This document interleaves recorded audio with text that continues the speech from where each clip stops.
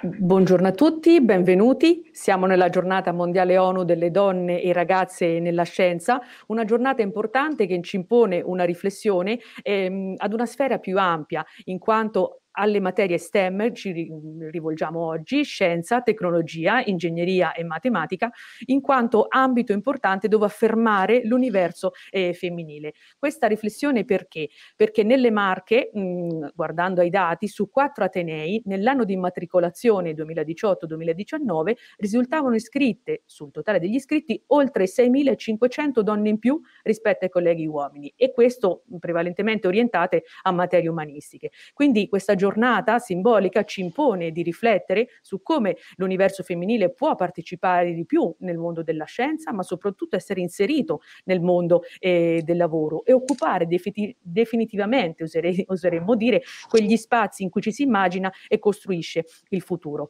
Per fare questa riflessione ehm, ci siamo rivolte ad autorevoli esperte che ringraziamo, a cui esprimo la mia personale gratitudine davvero di cuore per la disponibilità offertaci. E, ehm, questa riflessione che condurrò e ho il piacere di condurre oggi eh, tratta diversi mh, livelli istituzionali e quindi dal livello europeo, nazionale, regionale, locale, proprio perché consideriamo che azioni che possano partire dal basso, come in questo caso Osimo Lab con il partenariato pubblico-privato con Xplace, abbiano bisogno di indicazioni di autorevoli eh, esperte. Questo perché? Anche per guardare agli obiettivi ONU di sviluppo eh, sostenibile tra i 17, di cui ne vedete alcuni qui esposti alle mie spalle, il 4 e 5 ci sembrano particolarmente significativi eh, in questa giornata, in particolare appunto l'obiettivo 4, istruzione di qualità, sul tema mh, rispetto al quale avremo la testimonianza di, di, talent, ma il più ampio obiettivo 5, parità di genere. Ecco, affiderei quindi ehm, questa apertura alla mh, dottoressa Chiara Pastorino di mh, Banca Intesa San Paolo, responsabile diversity e inclusion di Intesa San Paolo, con un'esperienza ventennale nel campo delle risorse umane e sono davvero onorata, davvero di cuore, lo esprimo anche con affetto di questa sua partecipazione perché ci mh, consente di proseguire con coraggio e determinazione verso un percorso di valorizzazione del, del talento femminile in attività che abbiamo realizzato nel corso degli anni con seminari, convegni, però ecco vorremmo rivolgerci anche ad attività di tipo progettuale e capire dall'istituto bancario che indicazioni può fornirci come ente locale per eh, svolgere attività che vadano in questo senso verso la valorizzazione delle donne nell'universo STEM. A lei la parola, dottoressa Chiara Pastorino, ringraziandola ancora di cuore per la disponibilità. Grazie Frida di, di, questa bellissima introduzione, ma grazie soprattutto a, alle Marche, a Osimo Lab eh, per aver invitato me, aver invitato Intesa San Paolo a partecipare a questa bellissima eh, iniziativa che state promuovendo in occasione della giornata mondiale delle donne e delle ragazze nella scienza. Siamo molto felici di dare il nostro contributo, di partecipare a un confronto, perché è un tema, eh, quello che state affrontando, eh, che ci sta particolarmente a cuore e su cui noi stiamo investendo tantissimo impegno eh, e anche tante eh, risorse. Vorrei eh, iniziare la mia riflessione eh, partendo da qualche dato. Eh, proprio qualche giorno fa stavo analizzando gli ultimi eh, dati sulla disoccupazione eh, italiana e eh, i dati di dicembre sono particolarmente preoccupanti perché c'è un ulteriore calo eh, dell'occupazione e a farne le spese, ancora una volta, sono quasi esclusivamente le donne. Il tasso di occupazione femminile in Italia è il 48,6%. È diminuito più o meno di un punto e mezzo rispetto all'anno scorso, quindi era già molto basso ed è ulteriormente diminuito. Siamo il fanalino di coda dell'Europa eh, gli altri stati sono più virtuosi di noi da questo punto di vista. I paesi del nord Europa hanno un tasso di occupazione femminile che sfiora il 70%. Quindi capite il gap che c'è e la quantità di talenti e di risorse che non eh, contribuiscono allo sviluppo economico, al nostro PIL, quindi la perdita per il sistema economico che questo dato comporta. Eh, guardiamo ancora meglio questi dati. Eh, solamente il 31% delle donne ha un'occupazione in ambito tecnico-scientifico, a differenza del 70% più o meno degli uomini e eh, ci risulta che solo il 5% delle ragazze quindicenni manifestano una preferenza per mestieri di tipo tecnico-scientifico. Questi dati sono veramente dati preoccupanti. Eh, Intesa San Paolo occupa oggi eh, circa 100.000 persone, siamo uno dei più grandi datori di lavoro in Italia. Quando uno pensa a una banca, eh, non viene immediato e spontaneo pensare Ebbene, oggi la maggior parte della nostra domanda è proprio su questi mestieri. Cerchiamo laureati in fisica, in matematica, in statistica, in ingegneria e quando io vado a fianco al mio collega io mi occupo, come anticipato Frida, di diversità e inclusione e, e, quindi mi occupo, tra le altre cose, di fare in modo che ci sia equità di genere nelle promozioni, eh, nel passaggio a responsabili, nelle assunzioni. Quando vado a fianco al mio collega che si occupa proprio di assunzioni e eh, lui eh, mi, mi, mi, mi, guarda quasi con imbarazzo e mi dice, Chiara, io le donne non le trovo eh, in queste facoltà. Mi dice non ci sono i bacini, con questo termine tecnico, nel senso che dobbiamo mantenere una parità di genere nelle assunzioni, ma non ce la facciamo. Non ce la facciamo perché eh, i laureati nelle materie tecnico-scientifiche sono prevalentemente e in alcuni casi quasi esclusivamente uomini. Che cosa significa per un'azienda come la nostra? Significa che alcuni mestieri, per esempio nell'IT o per esempio in uh, uh, mestieri del risk, alla fine sono fatti quasi esclusivamente da uomini e questo non è una situazione per noi migliore perché quello che aziende come la nostra cercano sono ambienti in cui tutte le diversità sono rappresentate, cioè gli ambienti diversificati nella loro natura, che rappresentano generi diversi, età diverse, culture diverse, religioni diverse. Purtroppo necessariamente in alcune situazioni diventano monocultura, proprio perché c'è difficoltà a reperire dei bacini diversificati.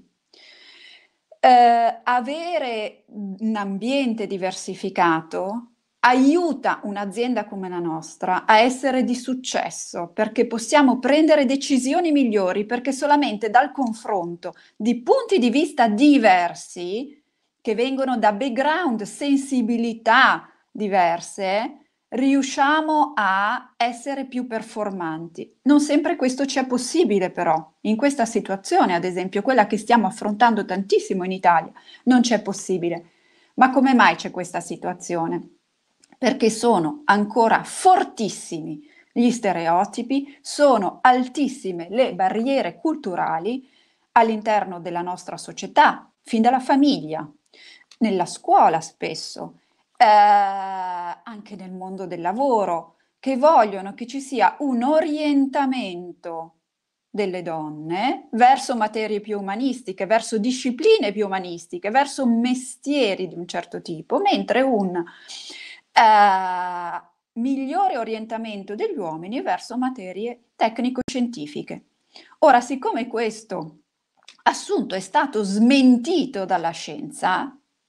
quindi non c'è nessuna spiegazione che, vuol, che, che, che, ci dice che le donne sono più brave a fare una cosa che gli uomini sono più bravi a fare l'altra, dal punto di vista ovviamente del tema di cui stiamo parlando, quindi delle discipline umanistiche verso le discipline tecnico-scientifiche. Il risultato oggi che abbiamo da un punto di vista sociale, educativo e di conseguenza del mondo del lavoro è solo il frutto di stereotipi e di pregiudizi che si hanno. Eh, abbiamo eh, molto dibattuto questo tema anche all'interno di Valore D. Valore D è l'associazione delle aziende che si occupa di valorizzazione del talento femminile e uno dei eh, progetti che abbiamo attivato insieme è stato un progetto qualche anno fa e che stiamo portando avanti con estremo successo, Inspiring Girls. Con questo progetto eh, le nostre role model, cioè le nostre colleghe, in particolare quelle che svolgono mestieri tecnico-scientifici, vanno nelle scuole, nelle scuole secondarie a incontrare i ragazzi e raccontano un mondo diverso magari rispetto a quello che loro già un po' carichi di pregiudizi pensano che sia eh, portano un messaggio ai, ai, ragazzi di seguire i loro talenti, seguire le loro competenze, seguire le loro motivazioni e non i pregiudizi che li vedono portati verso una materia o verso l'altra solo in base all'appartenenza di un genere. Pensiamo che da un confronto diretto con quello che succede nel mondo del lavoro e vedere dei mestieri agiti da uomini e da donne eh, possa essere un messaggio importantissimo fin dalla scuola. È per questo che con grande entusiasmo noi aderiamo a questo tipo di eh, progetti. Poi abbiamo implementato, proprio per dare il nostro contributo come azienda, eh, attingendo a un senso di responsabilità sociale da una parte, noi, come ho detto, impieghiamo più di 100.000 persone, quindi abbiamo un impatto sociale importante, abbiamo una responsabilità quindi di incidere da un punto di vista sociale, ma anche perché ci serve come azienda, nel senso che se noi oggi diamo questo messaggio, tra dieci anni probabilmente avremo eh, vedremo i risultati dei ragazzi che si laureano, quindi eh, eh, noi stessi potremo beneficiare insieme ad altre aziende effettivamente di un valore straordinario che arriverà sul mercato. Eh, per ehm, portare avanti questo messaggio contro ogni stereotipo, stiamo facendo dei bellissimi progetti con le università. Uno di questi è seguire direttamente delle studentesse STEM e in parte studentesse anche di economia, perché c'è anche questo pezzo, se vogliamo, di eh, eh, disciplina che anche lì vediamo una prevalenza, in particolare sulla parte finanza, in cui vediamo una sempre una prevalenza maschile e non femminile. Le seguiamo direttamente, abbiamo attivato un uh, programma di mentorship eh, con 43 studentesse delle università eh, del sud Italia, seguite direttamente da nostre colleghe eh, che le supportano, sono accanto a loro, ma soprattutto danno loro una visione del mondo del lavoro, un collegamento col mondo del lavoro. Quindi è un uh, percorso bellissimo che portiamo avanti con un grandissimo entusiasmo. Io ricevo delle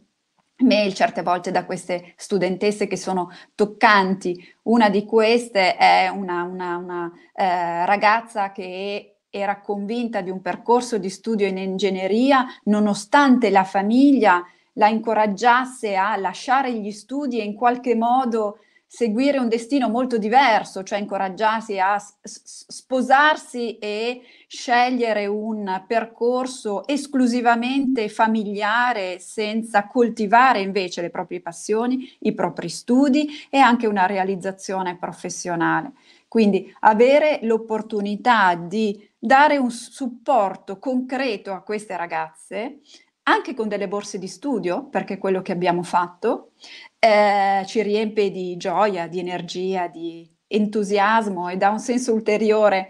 al nostro lavoro. Come dicevo, infatti, Intesa San Paolo dà un concreto aiuto anche nelle situazioni di difficoltà,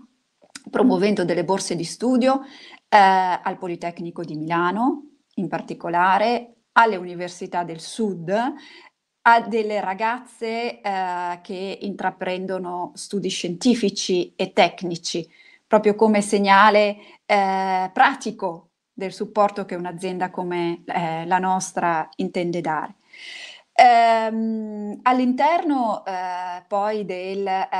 sempre questo filone progettuale eh, di supporto alle donne STEM, eh, partecipiamo a delle iniziative locali, una di queste è STEM in the City, eh, promossa dal Comune di Milano, in particolare dall'assessora alla trasformazione digitale eh, Roberta Cocco, con cui lavoriamo in partnership, quindi siamo molto ingaggiati in questo tipo di progettualità. Eh, STEM in the City è un'iniziativa che da diversi anni eh, è protagonista di una settimana eh, clou in cui eh, all'anno in cui diverse iniziative, diverse progettualità eh, raccontano i mestieri STEM e cercano di diffondere una sensibilità verso queste discipline a tutti gli studenti e in particolare alle studentesse. Per cui eh, siamo invitati e noi partecipiamo con grande eh, entusiasmo a tavole rotonde, eh, incontri, convegni in cui raccontiamo i nostri mestieri, raccontiamo quanto sono importanti all'interno di funzioni anche in cui tradizionalmente eh, i mestieri erano anche diversi. Io faccio l'esempio, io mi occupo del personale,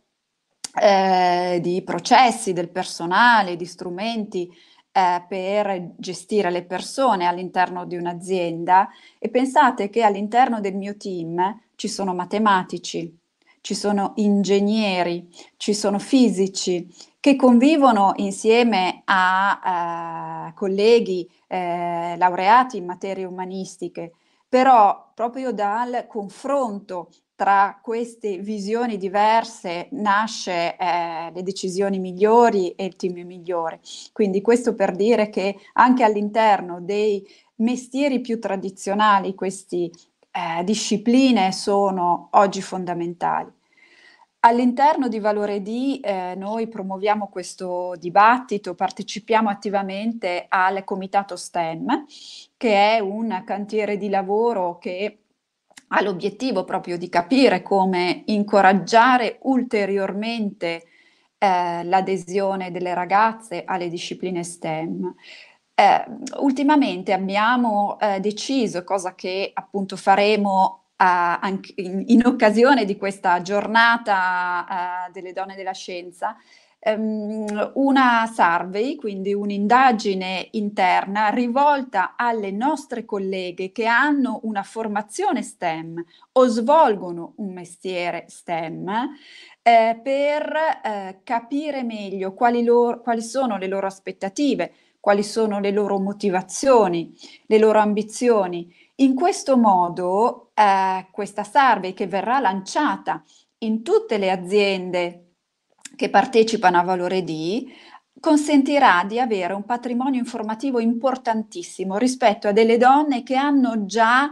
eh, in qualche modo realizzato un sogno professionale collegato alle STEM, ci permetterà di conoscerle meglio e quindi di approntare le iniziative migliori per rispondere da una parte alle loro esigenze, per motivarle, per ingaggiarle, per trattenerle sempre di più, ma dall'altra ci consentirà anche di attivare a livello sociale, quindi anche in collaborazione con gli enti locali e con le scuole con cui collaboriamo tantissimo, di attivare delle progettualità comuni per fare in modo insieme di migliorare questa situazione. E proprio eh, questo è un po' il messaggio che io vorrei dare come intesa San Paolo agli enti locali, alle istituzioni locali e alle scuole. Eh, noi siamo disponibili, noi come intesa San Paolo siamo disponibili e siamo anzi entusiasti di partecipare a delle iniziative locali che consentano una maggiore sensibilità del, a livello sociale e poi in particolare eh, dei giovani verso le discipline STEM. Quindi la proposta di iniziative di scambio e confronto, di incontro diretto tra le nostre professionalità STEM e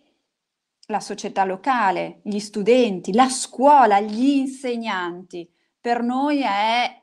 arricchente oltre che, ovvia- o- oltre che utili. Quindi la facilitazione di un contatto con le scuole, la facilitazione di un contatto con le famiglie, l'organizzazione per esempio di momenti di dibattito su temi che sono oggi caldissimi, ma perché sono l'oggetto del nostro lavoro, la cyber security ad esempio, ne dico una, e tutti i temi ESG,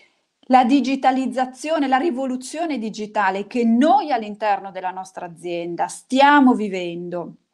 Ecco, organizzare dei momenti di incontro, di scambio eh, su questi temi per la sensibilizzazione locale e, e ci danno la possibilità di raccontare il nostro mondo, che è un mondo eh, di tantissimi mestieri, una buona parte dei quali hanno proprio questo background tecnico-scientifico. Ecco, per noi è una grande opportunità, saremo molto felici quindi di coglierla insieme e quindi eh, vi invito a eh, andare avanti in questa anche relazione che eh, vede oggi un momento importante, ma spero che continuerà eh, nel tempo e porterà grandi soddisfazioni. Quindi io ringrazio ancora per questo invito e ehm, sono certa che degli eventi come questi è, sono quello che è poi importante per